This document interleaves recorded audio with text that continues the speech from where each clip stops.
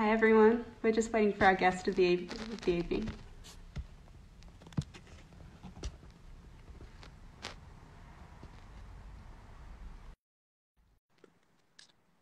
And she's just on her way.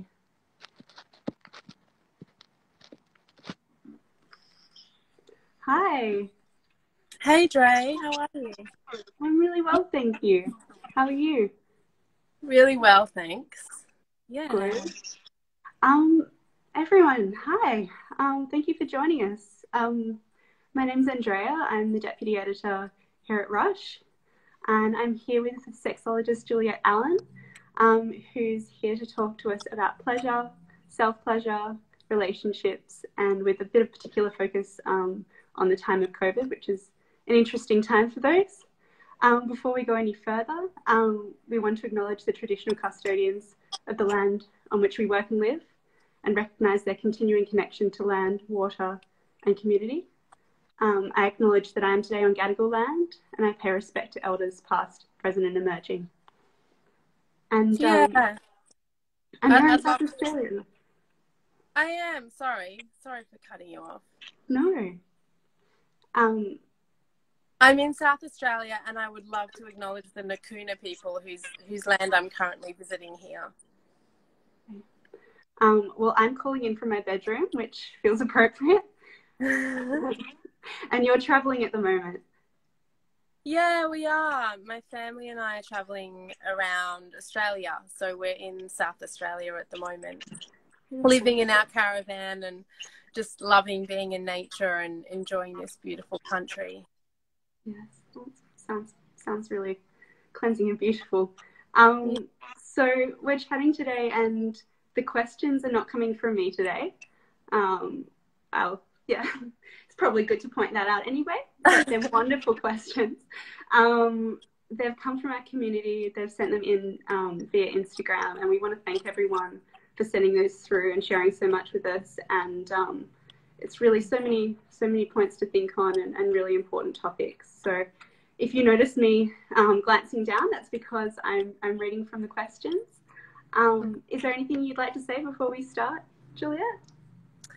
Um, no, just thanking everybody for writing in and asking the questions. You know, I know that this topic is can be a sensitive one, and it's it's quite taboo still, and it takes bravery and courage to, you know, write in and ask what what you've been thinking. And I just want to let people know who've asked questions that um, your question isn't just, you know, the answer isn't just for you, that I guarantee there's other people listening who also have the same question. So, yeah, so thank you. Yeah, thank you, everyone. Um, I'm going to turn my light off because in my eyes and uh, get straight into it. Um, so the first couple of questions uh, relate to the situation a lot of people are in at the moment, um, being isolated, dealing with new things in terms of um, coronavirus crisis. Um, the first one is, how do you stop feeling extremely single during COVID when all your friends are in relationships? Hmm. I've had a lot of people ask me this. I think single people are struggling, you know, during COVID just as much as actually partnered people are. We all have our different challenges in this time. Um, reality is you're single, and I think COVID, first of all, being single isn't a bad thing. It's actually a really great opportunity to create a really beautiful relationship with ourselves. And what I've noticed about COVID is that the people who are I, guess making the most of this um, unusual situation is the single people who are seeing it as that opportunity to really reconnect in and because you know the, the relationship we have with ourselves is the num it should be our number one so i my advice is instead of seeing it as a negative get um, really into self pleasure and into you know understanding your pleasure more and your turn ons and know that eventually we will be out of this stage in the world and there will be the opportunity for you to meet new lovers. But for now, you're single and you're just going to have to embrace it. Beautiful. Um, the next one is quite similar. It's kind of, I guess, the next stage along. Um, someone's met someone during lockdown, Um, and they're asking, how do I ease into more intimacy for new relationships being developed in lockdown? Mm. Okay. Um, well, there's the obvious one, which is online intimacy. So video mm. calls and phone calls and sending pictures to each other and just developing the relationship in that way, which I also see as a really good opportunity too, because a lot of us, when COVID's not about, we a lot of us rush into new relationships and rush into mm. sex and you know we skip the part that we can have which is really like deepening intimacy in different ways so um, i see this as a good opportunity for you to do that and yeah. ways that you can deepen intimacy without actually having you know physical sex is to be more open to, to open up about how you're feeling to talk about your heart and your heart's like yearnings and just to really develop intimacy in a different way that perhaps you haven't considered before. Beautiful. Um how do you how do i shake things up with my boyfriend during covid? Asking oh. for this person. Nothing seems spontaneous. Oh yeah this is a big one. So many couples have come to me and are just pulling each other's hair out or pulling their own hair out, just being con- in a confined space, or you know, both working from home and going from having the day apart, which creates more polarity and creates more like sexual tension, to being together all the time. So, if you're a couple and you're struggling, you're not alone. I mean, my partner and I are currently in a situation where we live in a caravan together, so I get it. We're in a small confined space and it definitely changes the dynamic. So, um, what was the question? How can they? How can they shake things up? We got a lot of yeah, spice things up, shake things up. We got a lot of questions like this one. Yeah. Okay. So the first thing I can think of is both of you coming together and think like telling each other what do you need in this time like what do you need support in so for um, a lot of couples and especially for men they need space or for mm. women who just uh, really enjoy solitude, um, we need space. So it's about supporting each other in that, whether that's just that you're both in separate rooms for half a day and you just mm. commit to giving each other time out and not do what I do a lot, which is like go in and be like, hey, like, what are you doing? Do you want to hang out? you know, so I know a personal example is my partner, Nick, I know he loves solitude. And if I don't like give him that, he gets really like agitated, which then mm. creates tension and, and less sexual tension. So think about what your relationship needs, talk to each other, and then support each other in that so that you can get your own personal needs met first. Spend spend less time together in you know, even if it's just in different rooms. And from there is that where the sexual tension comes in because you're missing each other? Yeah, it's just because you're spending, you know, the more time we spend together, it's funny when we like when we're in love or we're in relationship, we can want to spend every hour of the day together. Mm.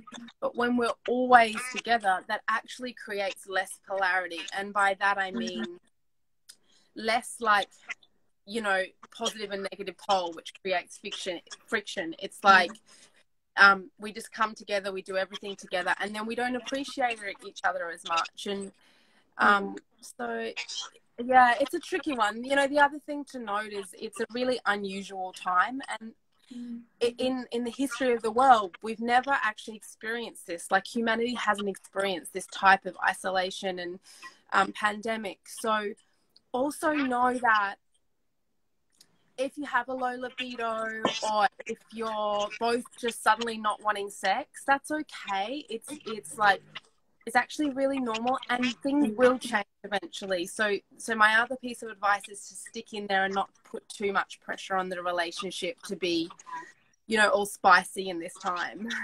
Yeah, yeah. There's a lot going on. Yeah. Um, a little bit of a different one. Um, could be related to the current time, but more general. Um, how do you overcome a fear of intimacy? Oh yeah, okay.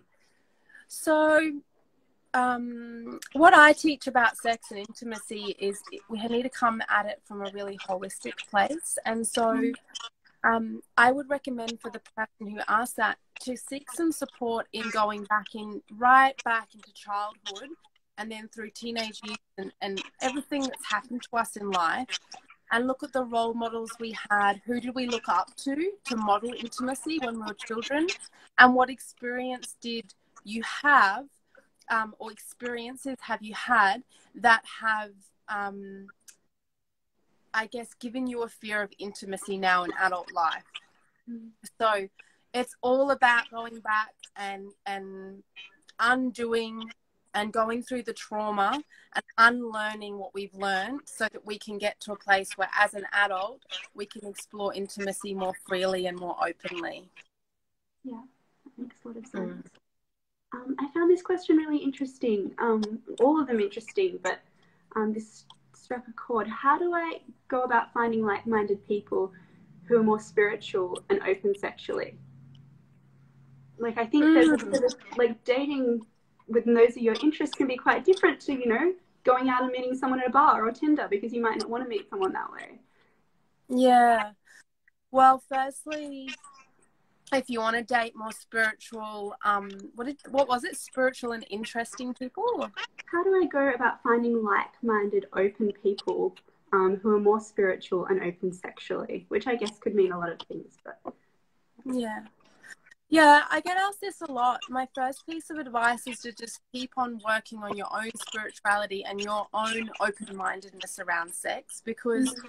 I do believe that the people that we attract into our lives are a mirror of ourselves in a lot of ways. And so if you find yourself attracting in people who are not spiritual and not open minded, then it, it's like, hmm, where, what part of me? I would question what part of me is still needs more work in that area of my life. Mm-hmm. So that's that's one piece of advice, and then if you're really interested in open minded, um, you know, sexuality and and meeting people who are open minded, then look into doing like workshops or courses or um, retreats where those types of people spend time. And a lot of the time it's in tantra retreats or tantra workshops. There's a lot of open-mindedness in that community. Um, i run a pleasure school and there's a beautiful community of people in there who are all interested in the same thing and yeah. so that's a great way to meet people is to just join something like that where you know that there's women and men in there who are committed to deepening their practice in in the area of sexuality, yeah. sex, and, yeah. That sounds great. Um, are agreed threesomes in a relationship emotional cheating and unhealthy or not? Oh, I like this one. Mm. Well, there's no black and white answer to that. I'm I, I believe we can have um, really great threesomes that are not emotional cheating at all. And if you want to have a great threesome, I actually just put a an article. There's a few articles on my journal about this, but you need to have um, really great communication. And before the threesome takes place, set up the boundaries, set up the expectations. Um, talk about what everyone, what the three people need to feel safe to open and what they're going to need afterward. So, if that's all spoken about before the threesome happens, then that sets us up for a way more successful threesome than one where we kind of jump in because it feels good and then something happens and then someone's triggered and then it turns into a shit show, basically. um, yeah. I've experienced it all, and I can tell you that communicating beforehand is the key to having a really, um, you know, beautiful experience. And um, I don't necessarily think it's emotional cheating, no, but I think that you know, there's can definitely be disasters too. So educate yourself about how to have a great threesome first. Beautiful. Um, someone's written in to say um, it's been one year without sex with their partner, uh, focused on an exam. It's not clear whether the partner or the person who's written in is focused on an exam. Um, they said it's killing me. Any advice? Mm. Okay, so one year without sex for some mm-hmm. couples, that's that's quite okay. For others, that's just a mm. disaster. So mm. it sounds like this person's written in because it's affecting them and they're feeling yeah. like, oh, this this doesn't feel good. Mm. If focusing on exams has been your priority, and I know because I've been to uni and how stressful that can be, then um, that's been your priority. Now that the exams are over, if they are, refocus your priority into bringing more intimacy and connection into your relationship. Sit down with your partner and talk to them about, you know, the fact that this is really important to you and get an understanding of um, if they're on the same page, if they too want to prioritize sex. And if they do, then talk about ways in which you can prioritize it. I mean, you know, it's just, it all comes down to what we prioritize in life. And sex needs to be one of them if that's important to us. Yeah, yeah, that makes sense. Mm. Um, our next question um, someone's written in and said, I often feel depleted when having orgasms too often. What's your take on that? Mm, good one. So mm. I'm not sure whether they're um, this is coming from a woman identified person or a man. Um, but orgasms can be quite depleting. There's, you know, orgasms are fun and they feel really great, but it depends on the orgasm that we're having. If it's a man, then ejaculating physically during orgasm can be very depleting because it's depleting us of our chi and our life force energy as a man if we're a man. As women, if we're having a lot of clitoral orgasms, then it's similar to ejaculation in that we are we are all our sexual energy is going down through our lower chakras and it's creating more depletion. So there's that feeling of like, oh, relaxation, and you want to sleep afterwards a lot in general. And that's okay. And, and, you know, I have clitoral orgasms all the time. However, I do notice that when I don't, and a lot of my clients are the same, when I don't always have um, a clitoral orgasm and instead either don't have an orgasm at all or have like um, bring my energy up into my body and have a full body orgasm, then I actually feel more energized through the day. And a lot of men report this who choose not to ejaculate. They report that, you know, back to me and my partner's the same, is that he feels like he has a lot more energy to give into, into his relationship, into his family, his purpose in life, etc. So I talk about this a lot um, in my podcast and in Pleasure School. There's a lot of practices in there for people who do want to conserve their energy in this way. Okay, great. Well, that's mm. definitely worth a read for anyone also experiencing that. Yeah. Um, okay, so um, someone has asked about their partner who's a male um, how can I show him prioritizing his health for longevity and better, clearer sexual connection is key? Uh, okay, so just prioritize your own health first. Stop, mm. stop. Often, when we want our partner to change or we want them to do something, it's what we need to do more of ourselves. So, you know, I want you to be more healthy, or I want you to be more present, or I want you to mm. study more, whatever. We then have to point the finger back to us and look at, oh, where do I need that more too? So, first prioritize your own health, and you will inspire him just naturally without doing anything other than committing to that and prioritizing that. Um, and then there's only so much that we can get our partners to do, the more I find the more that we like want to control them and tell them what's right for them and what's going to make them feel better, often the more our partners will want to do the exact opposite depending on their personality. yeah. So um, we just need to lead by example and hope that you know for this person who asked hope that your partner follows with you. And you know if he doesn't it, it may mean that you actually have really different differing values in life and that health is not a top value for him. And that's when you need to ask yourself you know can i accept that part of him that he doesn't value health? And can we move forward with me in this relationship if that's the case? Yeah. Great. Thank mm. you. Mm. um, what's more important physical connection or emotional connection? Uh, i would say both. Yeah. I would say both are equally as important. Um, emotional connection is super you can't just have, have like a yes at your sex center and feel really turned on all the time well, you can, and we've a lot of us have experienced that. But what it leads to is really hot sex, and then usually feeling really disconnected and really dissatisfied afterwards. Or if you have a really strong emotional connection, that can be really beautiful. But what can happen is you can just turn into best friends and not want to have sex. So I believe that both are equally as important. Mm. Yeah, that makes a lot of sense.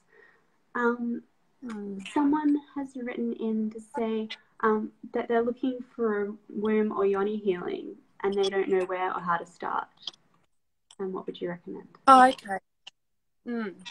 Well, that's cool that they want to like explore that. Um, and I really am a big fan of yoni healing and womb healing, and I have experienced it a lot myself. You know, it's helped me heal from um, trauma in that area of my body. It's helped me heal from like losing a, like babies, all sorts of things. So, um, I just recommend if you're looking for a yoni uh, massage practitioner or a womb healing session, that you get a referral from somebody you know. Don't just Google it because, like any industry, there are people who are not practicing with integrity. So, mm. um, yeah, you know, you can you can email me and I can refer you to someone if that's what you're interested in. Thank you. That's great. Yeah. Um, when can I start calling him my boyfriend? Oh, that's a, I like that one. Yeah. When I don't know well, have a conversation with him and ask him, like, are we, you know, is this official? Are we together? Are you my boyfriend? And, um, or just start calling him your boyfriend. Just do what feels right for you. But I recommend just having a conversation with your new lover. And that's what I do. It's like, hey, you know, what is this?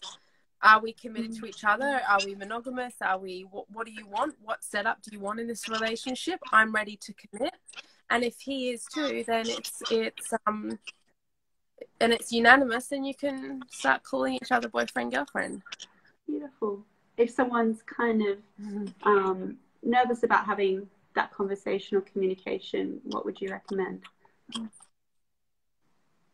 Um, I would recommend really like dropping into what does your heart want to say and get mm-hmm. out of your head because we can get so caught up in like what you think what we think we should say how we think he or she will react what's the best way to say it. But if we just take a few deep breaths and like close our eyes and put our hands on our heart and be like, what does my heart want to say? Like, how do I want to express myself from this part of my body? Then that often allows the words to flow like more organically and with more ease. And that goes with any difficult conversation. If you find a conversation difficult with it with a lover, then yeah, drop into your heart. So does that answer it, or was that a bit too airy fairy? No, I think that does. I think that does. Absolutely. Um, how to get your sex drive back after having babies when you're so tired and a little resentful? Oh yeah, so many mums experience this. You know, um, it's really, really common, and we can feel really depleted after we've had a baby because we've we've gone through like huge process and initiation into motherhood through birth and then we're up all night with with often a child who's breastfeeding lots etc so firstly just letting you know you're not alone. Um, what was the question again? Because i've just like gone um, off into my well this person wants to know how they can get their drive back. Um, they're still feeling tired and they're also feeling a little bit resentful yeah, okay. Um, so it's important to name that you're feeling resentful, firstly, because mm-hmm. otherwise, if you just keep holding that in, you're going to feel more and more resentful, which is going to lead to you feeling yuck. Mm-hmm. Um, and how you can get your drive back is um, to ensure that you're resting. And I know with a new baby that can be really tricky, but it's about asking for support and you know it takes it takes a village to raise a child not just one or two people mm-hmm. so asking for anyone around you to help you to come and cook or to come and hold the baby while you have a shower or a little sleep or do do that as much as possible ask for what you need. If you have a partner who's there to support you, ask for what you need from them. You don't have to do it alone. And then also trust that your sex drive will come back. It's just going to take a little bit of time. and trust in your body and know that right now your priority is meant to be the baby and that's just real the reality of motherhood as hard as hard as it is sometimes so also know don't don't put pressure on yourself it will come back yeah yeah um, hmm. the next question is um, someone's asked how to have casual sex um, when you have mental health or attachment issues due to t- childhood trauma. Okay. I wouldn't have casual sex if you have, um, if it doesn't feel right for you. Casual sex mm. can be really fun, but it can also be really traumatic. And um, if you do have childhood trauma, I recommend, like I said in one of the earlier questions, to, to get some support. You know, find a therapist who you resonate with, or a coach, or mm-hmm. somebody who you can talk to about resolving that, you know, that childhood trauma and going back and figuring out how it has um, traumatized you and and you know that's a scary thing. It, it, can be really scary but it's a really brave thing to do because what it will do is free you up mm. to be able to go into sexual experiences with more ease and more confidence and feeling less attachment if you do want to have casual sex. But right now i don't recommend casual sex if, if that doesn't feel right for you. Yeah. Sounds like great advice. Thank you. Um, mm someone is newly single after a long term relationship and they've asked for tips for using dating apps. Oh, yeah. I just have one tip, and that is only swipe right if there's still swipe right, swipe left. I haven't been single for a while, but you know, I definitely frequented Tinder when I was just for um research hmm. um into the industry as you have to in my industry. But um I my my rule from like a personal point of view was only swiping right if I had like a full body yes. If I was like yes, I like no hesitation. Yeah. This guy or this girl looks really amazing. I like the way they've written about themselves, and I have a full body yes. If you don't have a yes, just don't. Otherwise, you're just going to spend so much time chatting to all these different people, and it's just a waste of time when you could be hanging out with yourself or with your friends. So my other piece of advice is don't meet up with someone unless you've had a good phone conversation with them first. Yeah. Um, lots of people learn this the hard way and meet up and then they're stuck with someone that they don't have a connection with. So give them your number, take it off the app, have a phone call, and then from there. Great advice. Thank you. Um, is it possible to rekindle a broken relationship? Yeah, I think it is. I mean, depends how broken it is. It, there's so many different layers to that word of broken and a broken relationship, but I do believe that it's um it's possible to rekindle relationships. I believe that you know having a break in a relationship can be a really positive thing. Um, I believe that you can get back together successfully after a breakup. So it's just it's just about finding the right support again, and I'm big on this, so that you can um, shine a light on where it's not working or where you need to do the self work and bring in, you know, uh, like a more a different view into the relationship so that it can it can flourish and grow. So my answer is yes, I do believe that you can rekindle. Beautiful. Um, how do you stay connected with your partner when you're six months apart due to COVID? Oh, that's tough. So many couples yeah. would be separated in this time. Yeah. Well, it, it, I mean, we're lucky in that we have, you know, online ways these days. Um, so I would recommend doing a lot of video calls. I would recommend if you're in different time zones, setting up a daily time where it both suits your time zone, where you both commit to be online and, and stay connected. So it may be having like a daily day, uh, a daily date where you know that you're both there. Um, and just having really great communication about how you're feeling because it can be very easy to not speak openly and honestly about how we're feeling when when yeah. you've been apart for so long it's just it's so much easier just to push stuff down but be honest and um and just yeah it's it's a tricky one because it's something that a lot of people are experiencing but have never experienced before and they're not choosing it either. It's not like it's they're choosing a long distance relationship so yeah, yeah lots of communication. How do you deal with kind of uncertainty in relationships? Because that's a huge one isn't it? Like it's like okay it's not we don't know exactly how long we'll spend apart. Mm. how do yeah so if you're in a committed relationship and you know the boundaries within the relationship so for example you know that you're both have committed to a monogamous relationship um, mm. and that's an important one to chat about like is this do we both commit to monogamy or are we open because when we live apart and we're forced to live apart we can go into like uncertainty around well, is he or she going to be talking to other people? Or will they now have a lover wherever they are? All these things that we worry about. But if we can communicate, you know, if we're in a monogamous relationship, what does that look like? What where, what are the boundaries? Um, what happens if X Y Z? And so it's like you set up a bit of a um, like an agreement, a relationship agreement, so that there's boundaries, so that you can relax back into whatever it is, into the relationship.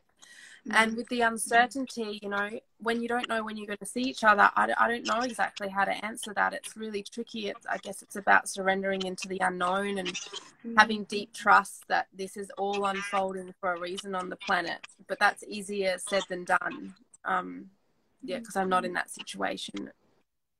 So yeah, I feel for that person and those people. Mm. I guess that, but I guess that surrendering to the unknown can apply to so many different avenues of life, right? And that seems to be the only way yeah. to not have an existential yeah. crisis in any kind of case. Oh, definitely applies to everything. It's just so easy for people to say though. Like people mm. say to me about you know parts of my life, and I'm just like, oh, that's so easy for you to say you're not in my situation but so i really get that it's it's hard to hear that when you're so in a challenge. But yeah. um yeah it's something to really work on for everybody. Yeah mm. something to work on. Nothing is certain. The only thing that's certain is is death and birth. Like we know that you know we're going to keep birthing new children are come going to come into the world and we know that one day we're going to die. In fact the only certainty is death. So Everything else is just mystery. And a bonus. yeah. um, someone has been seeing a guy for two months now. Um, the sex was great, but now they hardly have it. Um, they'd like to know how to ask for more, um, and they say they feel quite shy. Mm. Okay, well, it's pretty normal, firstly, to feel shy when we talk about sex because we mm. haven't, most of us haven't grown up with any education or holistic education around how to talk about sex. So, um, I would say this for any relationship, not just a two month relationship, whether it's two years or 20 years. What I would do would just firstly ask my partner, when's a good time to talk to you about something that's important to me? So, mm. firstly, what you're doing is not just like launching on them and and being like i need to talk to you about this. You're not doing this right you know because then what you're going to get is probably a reaction from them and they're not going to be able to listen. So first ask when's an important time to talk to you about something that's important to me? And then if they say now then be like awesome. If it's tomorrow whatever. And then just sit down and say you know i really loved when we were making love a lot. It felt so good. I felt really connected to you. I love connecting to your body and your heart. And I loved having heaps of sex with you. And I've noticed that lately we're not um, enjoying as much sex. And, you know, um, I would love to prioritize intimacy more with you. Is that something that we can do together? Is that is that important for you too? And often, you know, if you do have that conversation, your partner will be thinking the same thing and they mm. may just feel like, oh, okay, she or he is also feeling the absence of sex, and you know, it's a brave thing to come to a partner and say that. So that's how I would recommend approaching it. Mm. And I noticed you kind of phrase a positive first in connecting that. Oh yeah. So you Yeah. do the sandwich. It's like positive. so you've got to start with positive, and then you put in the challenge or whatever, and then you end with a positive. So yeah, Yeah. you want. There's always a positive. You can always find a positive, and so it's important to start with that. Yeah, great. Um, Yeah. This is our last audience question. I noticed we've got one in the feed there as well. But um, how do you know when someone's right for you? Mm. Well, we've got about confirming we've got about ten minutes. Is that right? Yeah. Like in our time frame that we've agreed to. So I I teach this thing, and I'm going to do it really quickly, and it's called the four centers, and basically. I go into this extensively in pleasure school. So if you're interested in learning more and if you're interested in like have being in a guided meditation around this, then I recommend going into pleasure school and doing that online. But the four centers are our sex center at our genitals, our tummy, which is located our tummy, that's our intuition, our heart center, and our head. And ultimately, if someone, if you're seeking a long term relationship, or even just a one night stand, ultimately we want to be looking for a connection that is a yes at all four centers. So, yes at our sex, which is like a strong sexual connection. Yes at our tummy, which means our intuition says yes. Yes at our heart, which is like a feeling this strong heart connection. And then yes at our head. And our head is like that little voice that just is constantly Mm. analyzing, but our head's like, yes. So, the way I know and how I choose being, um, you know, committing to someone is having noticing when I have a yes at all four centers, and it's just this deep inner knowing that you know that person is like right for you at this time in your life. So yeah, that's actually the short version. And um, I guess it's just like a feeling that we get. Yeah. Yeah. Yeah. I did notice one, um, if we do have time for one more question, Sure. um, and just try and remember it. But it was a question about um, libido um, and wanting Mm. to get back. The person is 19 and feeling alienated as all their friends are having a, have high sex drives, but they're not, not feeling that way. Okay, yeah. Thanks for asking. Um, like low libido is one of the biggest challenges that people face when they come to me. You know, that's like one of the biggest reasons people come to me for support.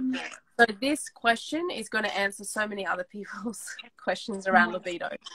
Um, so it's it's pretty common to experience changes in our libido first through our lifetime, and it just depends on life events like death, um, birth, um, work stresses. COVID has been really has had such a huge impact on people's libido due to loss of jobs, due to stress having kids at home, etc., etc. The list goes on.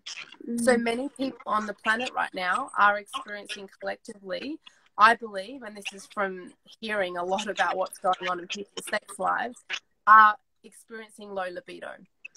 And so the first place to look is looking at it from a health point of view.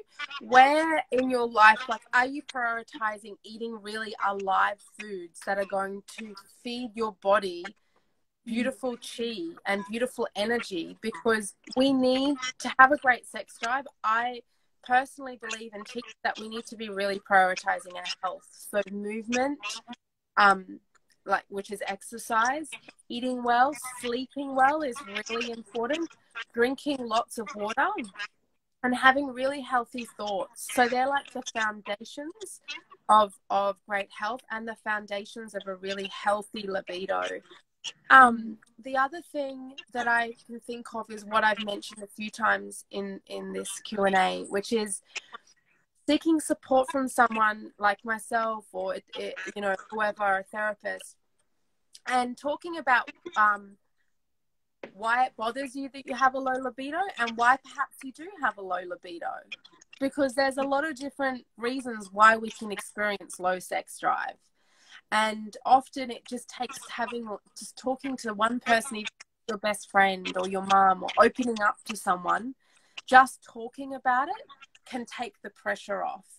And, and, and just trust that your body knows like your body has a low libido for a reason right now and it will change. It's not going to be like this forever. So you can also go back to just trusting and surrendering into you know what? Right now i don't feel like sex. My friends do. I don't. That's okay. Things Mm. will change. And um, accepting is really you know accepting ourselves and and where we're at is just key to just feeling so much lighter and happier Beautiful. Thank you so much for that. It was an unplanned one, but I really appreciate you no, it's good. answering. Um, I think that brings us to the end of our session. Is there anything you'd like to add? Um, no, well, I guess for people who are listening, if you want to learn more about these topics and if you want to join me in, in like educating yourself more and just feeling more inspired in this area of your life, then you can join me um, on Instagram, which is at Juliet underscore Allen.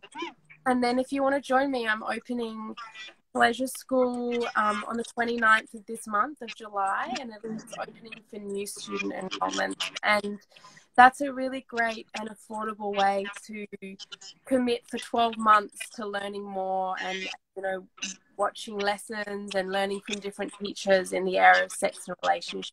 So, yeah, there are two two places that you can find me, and um, yeah, feel more inspired around sex. feel more inspired already. So Yeah. thank you so much. Um, you're watching RUSSH Weekend, everyone. This has been Pleasure Time with sexologist Juliet Allen. It's been such a pleasure. Fun, fun. Um, and, Thanks um, for having me, Dre. Thanks for having me. Thank you. Have a great night. Thanks, Yeah, you too. Thank you. Bye.